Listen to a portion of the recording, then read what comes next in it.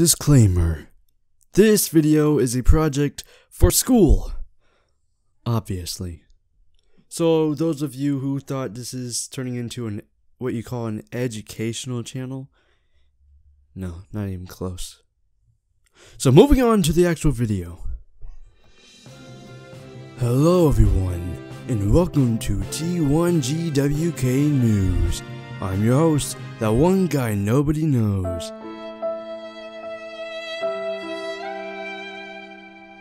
And today I am going to be interviewing a very special guest. Please welcome Tsar Nicholas II.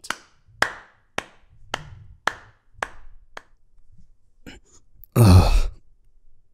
Тупой американец. О, привет, меня зовут император Николай Старой. Очень приятно. На самом деле нет.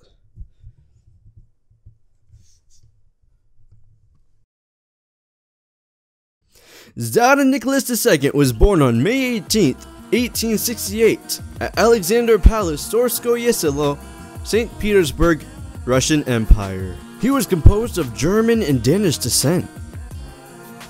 Last ethnically Russian ancestor was Grand Duchess Anna Petrovna. He had five other siblings, however, he was the first child to inherit the emperor's throne. Growing up, he was educated by private tutors. He was particularly interested in the study of history and mastering foreign languages. However, he had a challenging time grasping economics and politics. Eesh.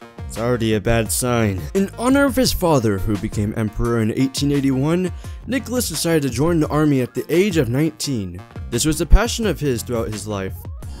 After his father's death in 1894, Nicholas became Russia's new emperor. Although he was very intelligent and was taught many things, Nicholas was not prepared at all for the responsibilities and tasks he would have to carry out. Again, this is a pretty bad sign.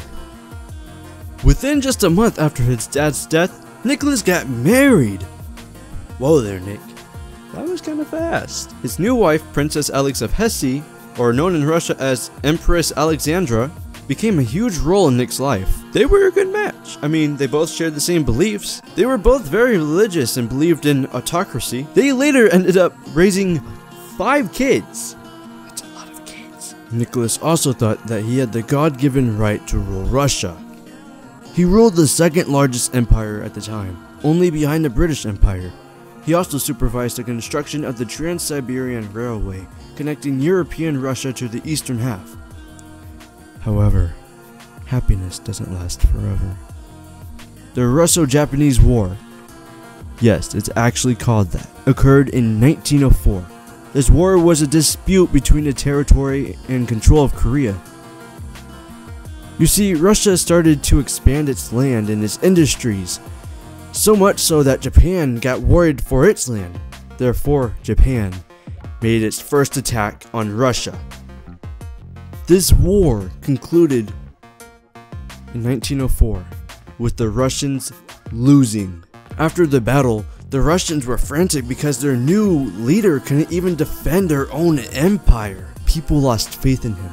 And eventually, it caused a revolution. This triggered Nicholas and he was all like, Catch me outside, how about that? and refused to reform unless it was under his conditions. Then that triggered the people, and then. Just kidding, that didn't happen.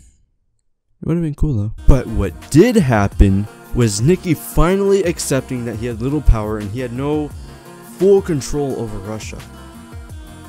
And he also promised the people that he would change. Did that happen? No, not at all. In fact, it was just the opposite. When World War started in 1914, it really showed all of his weaknesses. The Russian army did so poorly and had many casualties because of his leadership. And of course, Russia resulted in defeat. Nicholas was then forced to give up his throne to something called the Bolshevik Party. The Bolshevik Party took over his throne because of his awful leadership. He was so ignorant to change and so and so set to autocracy that he wouldn't change, and the people got mad at him, and therefore he lost his throne. But he lost his throne, but something else happened. Something that I don't think should have happened. On the sad night of July 17th, 1918, was the night that the royal family, the whole royal family, was executed by the Bol- Bolshevik Party.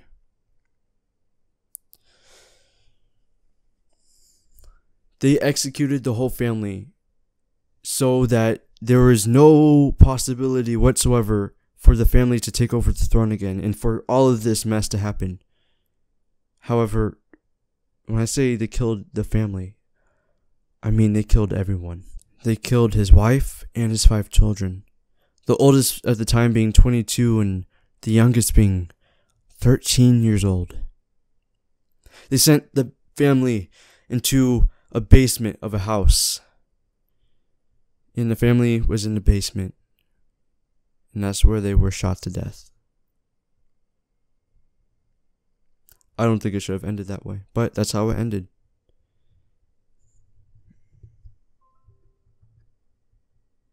Привет! If you like this video, leave a like. If you didn't like the video, you know what to do. Leave a comment down below if you liked the video. And if you didn't like the video, better watch out.